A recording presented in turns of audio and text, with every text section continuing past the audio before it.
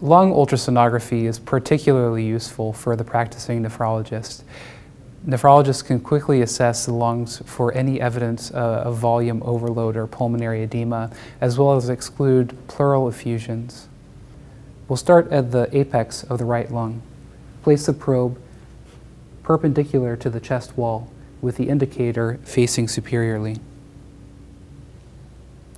Here we see normal lung. Bear in mind that because of the numerous air-water interfaces, the lung parenchyma is not well visualized. Here we can see the pleural line. This is where the parietal and visceral pleura rub against each other. Take a breath. There we see normal lung sliding. What we're seeing is uh, an intercostal space. Uh, we see the pleural line between two rib shadows. Deep to the pleural line, we see serial reflections termed A lines.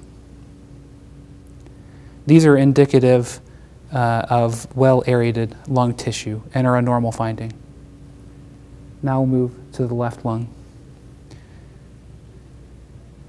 It's important to keep the probe perpendicular to the pleura to obtain good imaging.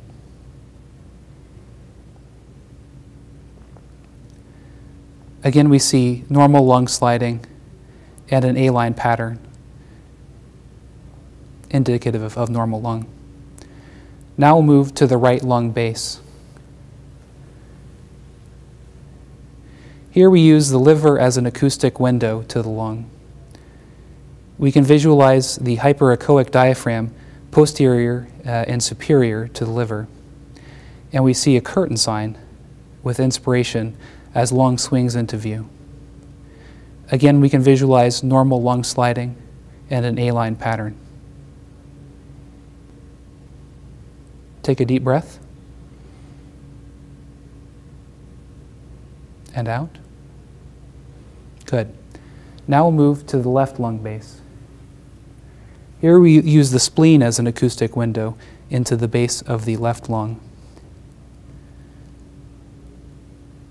Again, we see the hyperechoic diaphragm just posterior to the spleen and a curtain sign with lung swinging into view.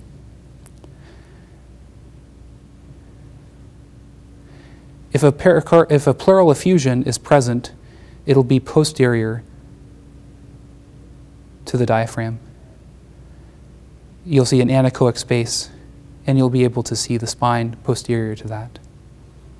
This has been an introduction to lung ultrasonography for the nephrologist. We learned basic lung parenchymal patterns uh, of uh, reverberation artifacts, as well as how to look for pleural effusions.